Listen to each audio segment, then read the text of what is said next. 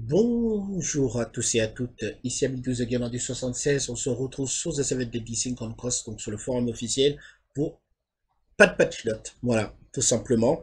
Donc je pense que Netmarble n'a pas dû accepter l'action coup de poing des joueurs, hein. voilà, parce que c'était vraiment une unité euh, qu'ils ont vraiment euh, fait cette action-là. Bon, il y a des comportements assez dégueulasses et virulents que j'ai vu un petit peu sur le forum, que ça soit euh, anglais ou français, ce sont des comportements inacceptables. C'est pas en insultant les développeurs que forcément les choses vont avancer.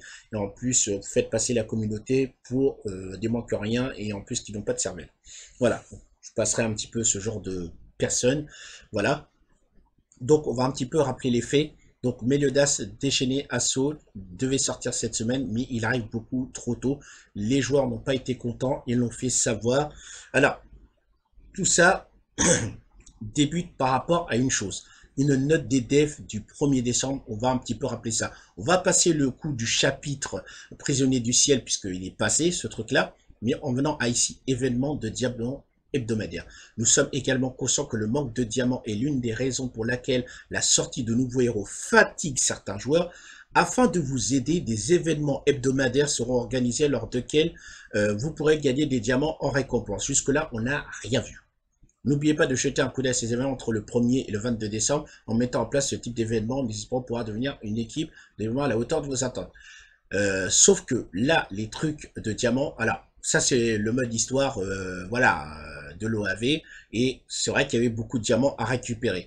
Ensuite, ils ont fait cet événement-là alors qu'on aurait pu avoir des diamants. Après, c'est vrai que dans la suite, on a eu quelques petits événements de diamants, de, de connexion et tout ça. Mais c'était pas terrible.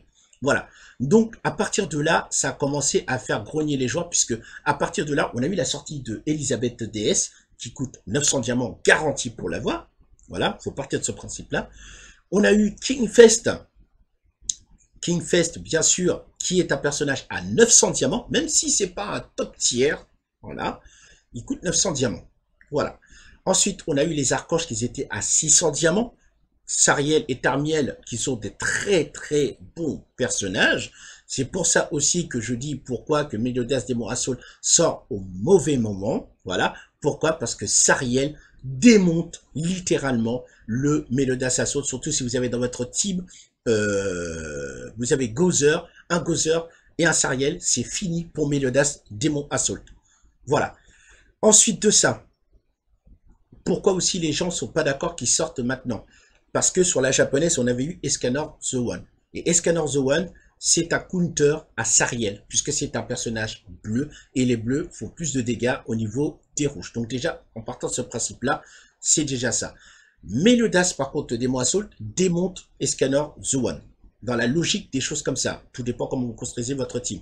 Donc voilà pourquoi les gens ne sont pas trop d'accord de sortir Melodas Démon Assault tout de suite. Et en plus, c'est un enchaînement euh, des portails. Et en plus, ils avaient bien dit, hein, c'est bien marqué là, que la sortie de nouveaux héros fatiguait certains joueurs. Donc ils n'ont pas pris en compte ce qu'ils ont dit sur le dev note du 1er décembre. Et en plus, pour les diamants, je suis désolé, euh, à part la japonaise où on a un événement et encore il y a eu des problèmes et puis euh, tout a été décalé, mais euh, on a régulièrement des diamants, soit avec le dojo de sol galès, bon c'est pas le champignon, mais c'est une plante qui est aussi faible dessus, et vous avez des défis journaliers et tous les deux jours vous avez quand même quelques diamants à gagner. Voilà. Donc sur la globale, pour l'instant, il n'est rien de fait, aussi bien pour ralentir la sortie des portails, et aussi pour gagner plus de diamants. Ensuite de ça, il y aurait beaucoup, beaucoup, beaucoup, beaucoup de portails qu'ils auraient skip. Déjà, l'Estine et la Valentine que tout le monde attend, beaucoup de gens attendent aussi. Pourquoi? Parce que le boss Ban et Hélène, c'est très très difficile puisque Ban se recharge sa vie en fonction du nombre euh, de ces de pastilles de jauge qu'il a. Et Valentine peut ralentir ce truc-là.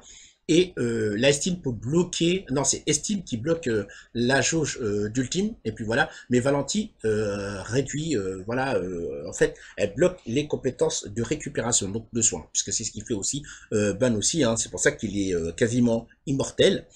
Et aussi, on a aussi Fatin Rouge, on a Jericho Rouge qui obtient les pouvoirs de son frère Gustave, euh, qu'est-ce qu'on a d'autre encore On a... Euh... Ah, je sais plus qu'est-ce qu'il y a d'autre. Euh, Lise Danaford, une des réincarnations de hein, justement. Et euh, bon, il y, en a, y en a encore d'autres aussi. Hein, voilà. Il devait y avoir euh, Hélène aux, aux, ailes dorées, et puis finalement, ils l'ont sorti beaucoup plus tôt. Voilà. Donc voilà, il y a pas mal de choses comme ça qui se sont enchaînées, et ça fait faire la grogne des joueurs actuels. Et aussi, il y a aussi, c'est vrai que là, tout n'est pas de la faute de Netmarble aussi. Il y a aussi la faute des youtubeurs. Bon, moi, je pense pas en faire partie c'est les gens qui disent « Ah, il y a tel personnage qui va sortir, tel personnage qui va sortir. » Je vous rappelle la polémique qu'il y avait eu sur Lilia.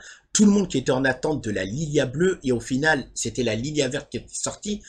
Après, il y avait une autre polémique au niveau de Losven. Losven était sorti, mais son portail était pourri. Voilà, hein, il y avait, voilà, on a vu quand même les 300, 600, 900, alors que sur la japonaise, ils avaient que le palier des 900. Et mais le portail était pourri. Voilà, il y avait rien. Sur les archanges, on, avait Sariel et Termiel, mais il n'y avait pas Ludociel, alors que sur la japonaise, ils y étaient. Donc, voilà. Donc, les youtubeurs forcent quand même les joueurs à skip certains portails, même si tout le monde ne les écoute pas, mais un grand nombre, voilà, influence quand même les joueurs. Et forcément, Netmarble, ça leur fait un manque à gagner. Alors que là, le coup qu'ils ont fait avec Elisabeth euh, DS, bah, tout le monde invoqué sur Elisabeth DS pour l'avoir, c'est un petit peu normal. Et puis ceux qui n'ont pas eu Lost Vein.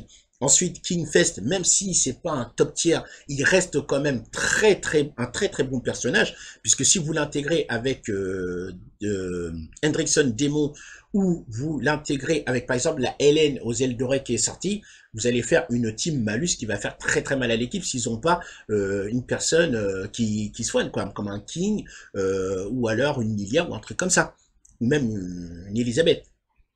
Donc voilà, vous voyez ce que je veux dire. Donc voilà, ça a vraiment foutu, foutu, foutu la merde. Après, il y a d'autres choses aussi qui m'ont bien fait rigoler. C'est sur la japonaise. Vous savez que sur la japonaise, entre les gens qui fouillent la méta, les machins, les trucs comme ça, il y avait une annonce de collaboration qui était assez euh, curieuse. C'était Stranger Things. Donc voilà, bon jusque-là on n'a aucune nouvelle, hein. aucune confirmation de, de Netmarble, et on a eu euh, encore des, des, des, des, fous, des gens qui ont fouillé dans la méta, et qu'ils auraient trouvé encore une autre collaboration qui s'appelle RE0. Alors RE0, ça n'a rien à voir avec Resident Evil 0, c'est un manga qui se passe en fait avec un, un, jeune en fait qui se retrouve téléporté, enfin téléporté, mais enfin euh, il se retrouve dans une version alternative, euh, voilà, de, de, de, son village ou de sa ville et tout ça, mais avec un petit peu, euh, il y a des y a des monstres, il y a des trucs, il y a des fées, il y a des gens qui ont des pouvoirs, des machins, comme ça. Je commence à regarder le, manga, franchement il est excellent, voilà. Hein. Et euh, il y a encore une autre collaboration, euh, alors je sais plus comment ça s'appelle, euh, je sais plus comment ça s'appelle, et ça fait trois leaks au niveau de collaboration. On n'a jamais vu ça. Que il y a un leak sur une collaboration, ok, mais là sur trois, alors les gens se commencent à se poser des questions si Netmarble n'aurait pas fait des fausses méta pour faire croire aux joueurs qu'il y aura ça, il y aura ça, il y aura ça qui va arriver parce que tellement les gens fouillent dans le jeu, et en plus, normalement, le, les leaks sont interdits, hein. vous savez, il y a des jeux comme Genshin Impact, qui ont carrément proscrit les leaks, via YouTube et quoi, même sur Twitter ou quoi que ce soit. Et le risque, c'est le strike de sa chaîne. Et au bout de trois strikes, la chaîne est supprimée. Donc voilà. Donc, euh, et puis bon, il y a aussi, euh, je crois, il y a une histoire comme quoi qu'il y avait eu quelqu'un qui travaillait en interne dans Netmarble qui s'amusait à filer les informations comme ça à droite et à gauche et qui aurait été attaqué en justice et en plus d'être viré, mais qui a été attaqué en justice. J'ai entendu une histoire comme ça, un truc comme ça. Mais enfin, bref. Voilà. La situation actuelle, pour pas rallonger trop la vidéo, c'est quoi? C'est que juste, voilà, Netmarble a merdé encore une fois. Hein. Voilà, il faut penser vraiment à tout le monde. Moi, je suis un petit peu un petit cash player. Je suis pas un gros, gros, gros cash player. À part, même si au début, j'ai acheté quand même pas mal de packs de rang. Je suis un petit cash player et même pour moi, c'est un petit peu difficile de suivre la cadence et tout ça. Après, je me dis que moi, je joue au, aux, deux versions. Et je me dis des fois que, voilà, j'ai Sariel, Termiel, euh, Ludociel et tout ça sur la version japonaise. Même si je les ai pas, c'est pas grave. C'est comme Losven. Losven, je l'avais sur la japonaise. Et même si je les avais pas eu sur la globale, je m'en foutrais puisque je l'avais sur l'autre version. Même si c'est pas la même chose, c'est pas en français ou un truc comme ça. Mais au moins, je sais à quoi ressemble le, personnage, je sais comment l'utiliser, nanani, machin truc et tout ça. Donc, ça peut attendre pour les avoir. Mais pour les free-to-players, ceux qui n'investissent pas dans le jeu, mais qui comptent sur le peu de diamants qu'on puisse récupérer, même s'il y en a beaucoup qui jouent pas au PVP, mais le PVP, il faut quand même rappeler qu'au tout début, c'est assez facile, vous jouez contre des bots, et n'oubliez pas que chaque semaine, vous récupérez des diamants.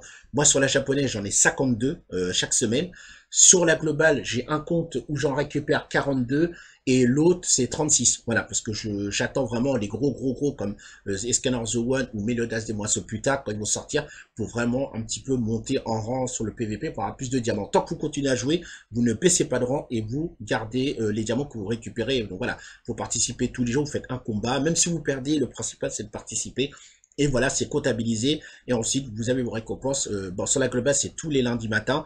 Mais par contre, sur la version japonaise, c'est tous les dimanches à 16h que vous avez euh, les récompenses euh, au niveau du PVP. Donc voilà un petit peu le scénario un petit peu voilà catastrophique qui se pose, c'est que vraiment ils ont merdé. Maintenant les gens se sont soulevés, ils ont fait entendre leur façon. Euh, moi je vais vous montrer quand même que moi euh, je suis quand même fair play et je suis pas comme certains.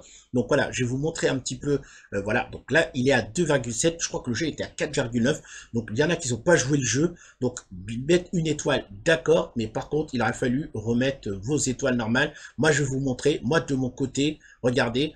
Boycott Melodas Asso 2021. Moi, je l'ai remis à 5 étoiles, le 23. Merci d'avoir changé d'avis au sujet de la sortie très tôt. Melodas Asso, je rehausse la note. Voilà. Moi, personnellement, j'ai rehaussé la note. Alors qu'il y en a certains qui n'ont pas rehaussé la note. Ce n'est pas normal du tout. Donc voilà. Les gens, soyez un petit peu honnêtes quand même. Hein. Même si on attend une réponse euh, de Netmarble et tout ça. Bon, il y a un petit peu euh, Setting qui a un petit peu abusé aussi parce que j'entends, voilà, je sais pas si c'est vrai, mais il y a des gens qui ont dit Sitting, ils ont dit euh, que Sitting, il a demandé à ce qu'on ne change pas la note euh, du store. Non, je suis pas d'accord avec ça. Ils ont quand même fait une réponse pas forcément euh, celle qui nous plaît, mais néanmoins, ils ont quand même écouté, ils ont repoussé la sortie de Meliodas Assault.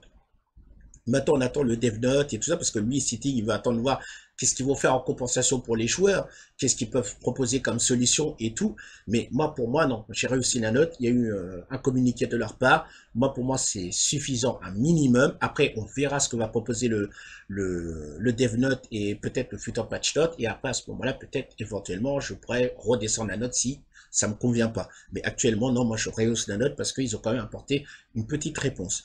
Voilà un petit peu euh, ce que ça peut donner. Écoutez, euh, à l'heure actuelle, euh, on n'a toujours rien, voilà.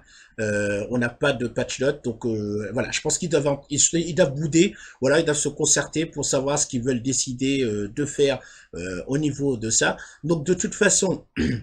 En récapitulant, c'est la faute de Netmarble. C'est eux qui ont dit lors du patch note du 1er décembre que je vous ai montré tout à l'heure qu'ils allaient travailler sur gagner plus de diamants et surtout baisser un petit peu euh, la vitesse de sortie des personnages euh, au niveau de la globale. Maintenant, tout le monde sait qu'à un moment donné, la, la version globale et la version japonaise vont être synchrones.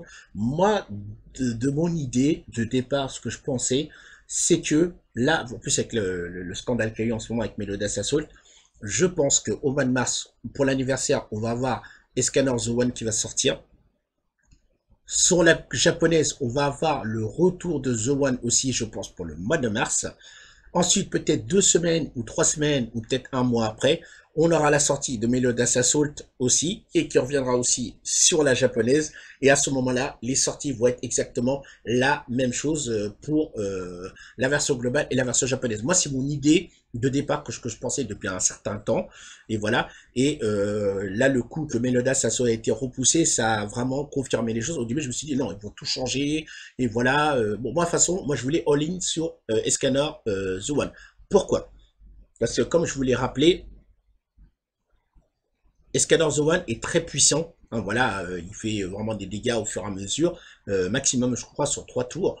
Euh, ensuite, après, ça se réinitialise et tout ça. Escanor est un très très bon counter à Sariel. Sariel est un counter euh, de Meliodas Assault. Et Meliodas Assault est un counter de One. Donc vous voyez un petit peu la spirale que ça fait.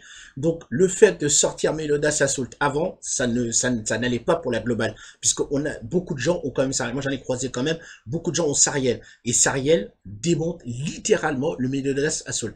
Donc le Meliodas Assault, en fait, il, il aurait servi à rien du tout. Vous voyez ce que je veux dire? Alors qu'il y aurait peut-être des gens qui auraient peut-être pensé à faire, euh, voilà, moi ce que je fais, j'aurais fait si j'avais la version, euh, si j'avais Escaners One sur la version japonaise, c'est que j'aurais fait ma team avec euh, Meliodas Demon Assault, avec les commandements, donc euh, Dollar, peu importe, ou alors Estarossa ou un truc, Et en sub, j'aurais mis Escanor The One. Comme ça, je me dis, je me fais démonter euh, mon Mélodas par euh, Sariel ou un truc comme ça. Et en sub, bah, qu'est-ce que j'ai? J'ai mon Escanor The One qui sera prêt à dégommer le Sariel ou le Gozer rouge ou quoi que ce soit, ou même le Mélodas Vein. Puisque Mélodas Vein avec euh, Gozer est un bon counter aussi à, euh, comment s'appelle, à euh, Mélodas Assault s'il commence en premier, bien sûr. Parce que s'il commence pas en premier, c'est même pas la peine.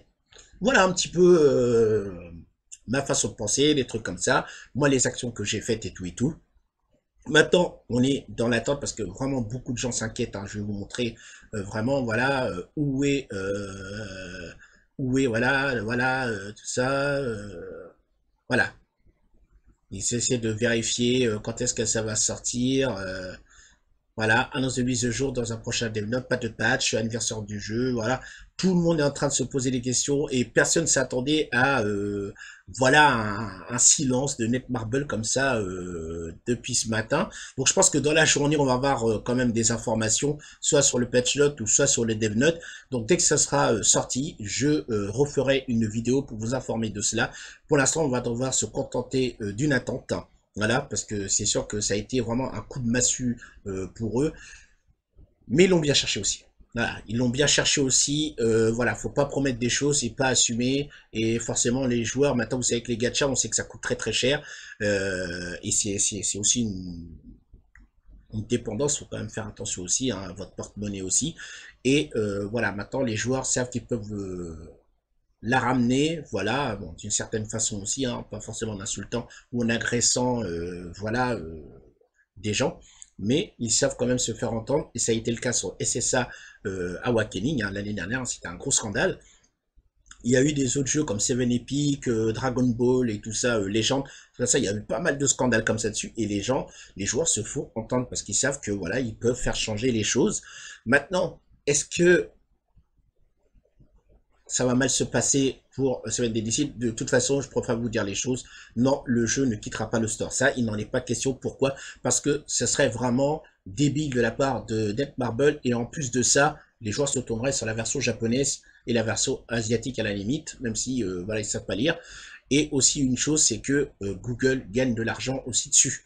Donc voilà, c'est dans leur intérêt aussi de laisser le jeu sur euh, le Store ou euh, sur le Apple Store. Voilà, je vous laisse, je vous dis euh, bonne matinée et euh, si jamais le patch note ou quoi que ce soit sort, je vous tiendrai au courant par rapport à cela. Allez, ciao ciao